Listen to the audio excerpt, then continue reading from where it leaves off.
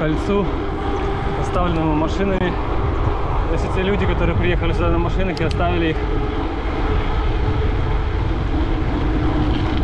для того, чтобы перейти понтон и добраться до рабочих мест. Мне, конечно же, не терпится показать его вам, не только на фотографиях, но и вживую, как это выглядит.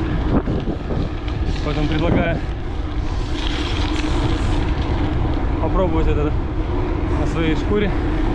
Добраться до Новополоска на велосипеде в августе 21 года.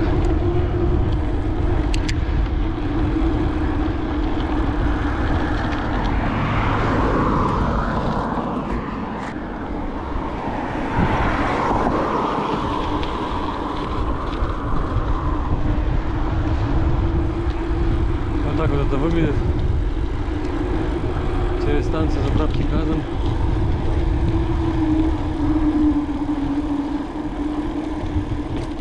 Такой вот затяжной спуск крутой.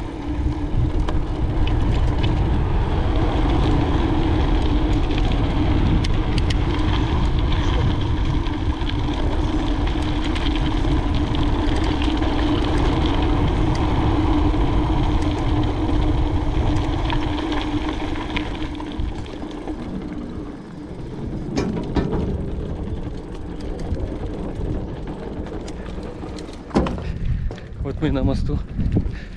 Переходим его пешком, все как положено, по правилам написано. Вешиваться вроде было. Сколько я насчитал? 19 таких понтонных групп перегородили западную двину. Вон видно, как ремонтируется мост. Очень похоже на историю 20 2000 года, когда я поступил в Новополоцкую школу-гимназию и стал ездить в город Новополоцк на автобусе. На целый год я это делал до, до Коптева, после чего нужно было пешком. В этом году таким образом здесь все, конечно, гораздо лучше оборудовано. Целый пост. Столько всего интересного можно рассматривать. Но мы взбираемся на горы и оказываемся в Новополоске.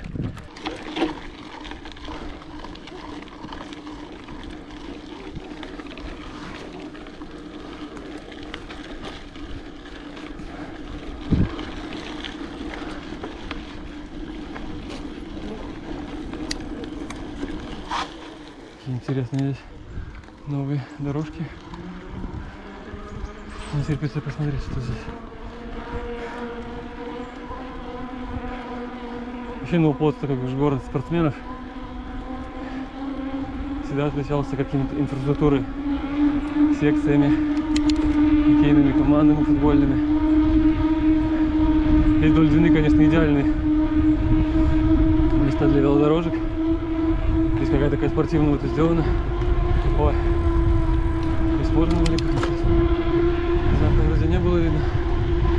Такая вот классная инфраструктура появилась. Прям о, пушка. С остановками, с лавочками какими-то, тренажерами.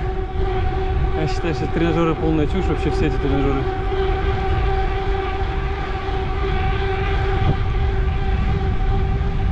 Не конкретно здесь, а вообще везде. Каждое предприятие обязали поставить по лавочке. Очень здорово. И этот факт. Очень здорово, что здесь появилась такая велодорожка. Я не знаю, ну, то есть дорожка. Понимаю, для всех.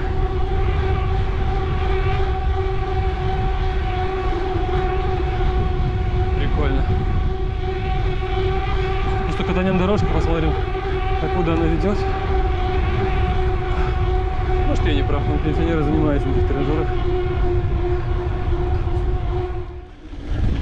Ну, чего я и боялся, недолго музыка играла. Буквально несколько километров. Была прекрасная велодорожка новая. Она закончилась рядом с каким-то свадебно-развлекательным комплексом.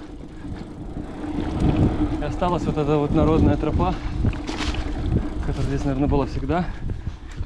Крапиве, в кочках.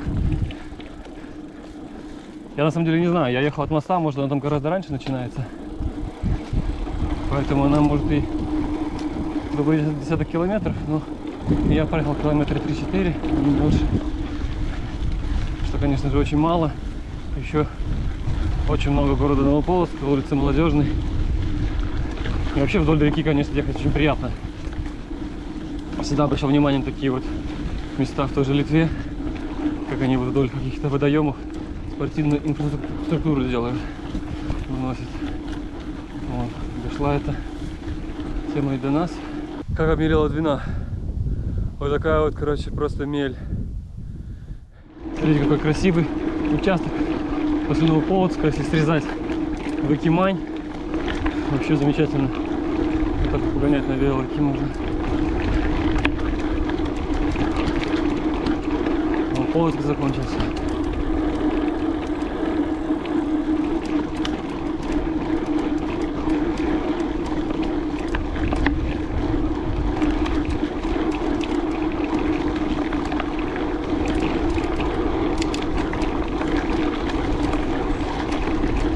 Уху! Вообще шикарно.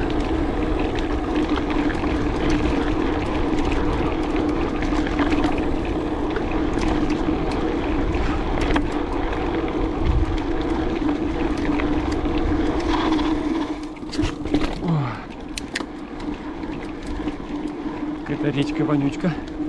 Это по запаху. Ручеек.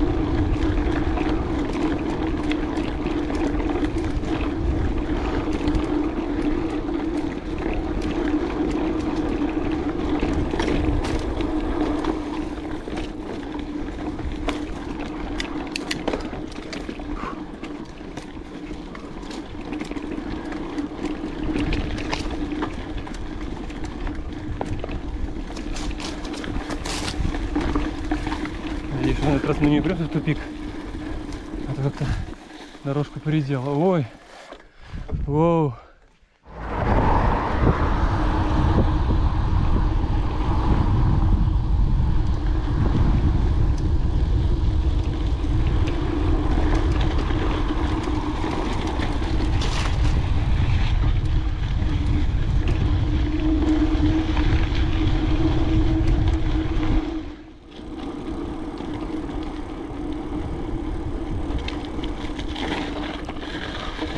Их было.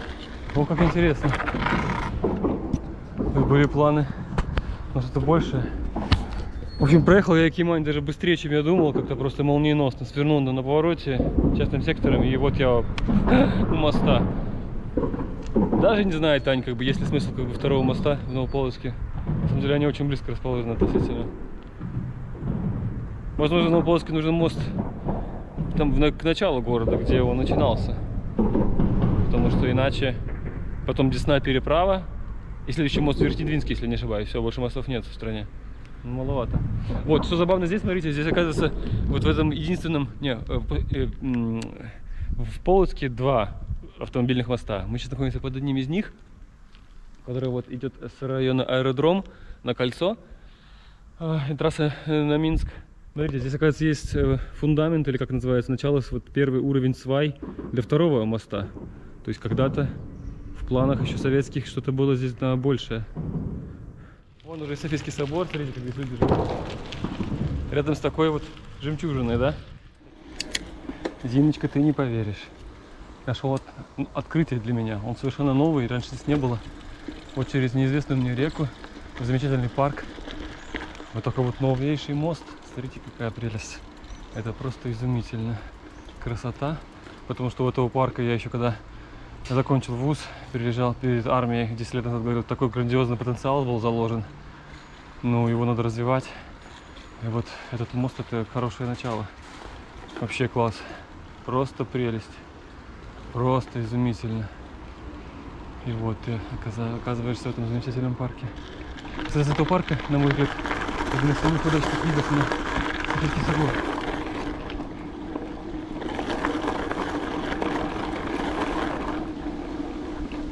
Не дам вам собрать. О, они даже здесь дорожки положили. Тут явно какая-то была работа проведена. Изумительно. Все остальное, в принципе, не тронуто. Здесь были сцены всякие. Ну, спортивную площадку поставили. Тут больше вот такая.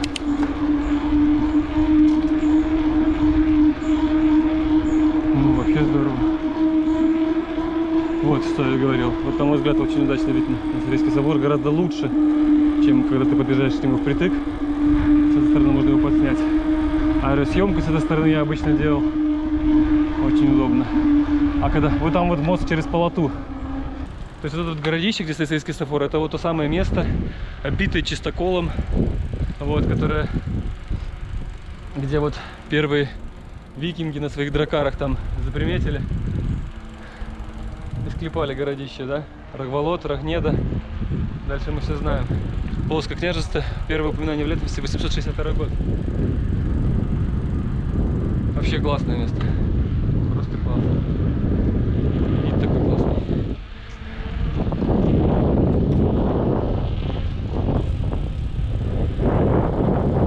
Замечательно.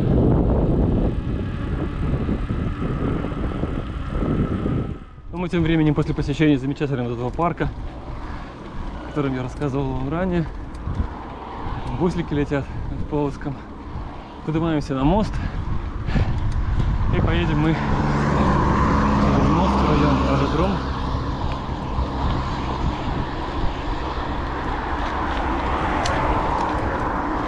Откуда уже поедем в сторону Бараухи асфальтовым скучным ровным участком нас видно Софийский собор. По мою правую руку. Такая уже дюжина полочек. Сердце. Вот.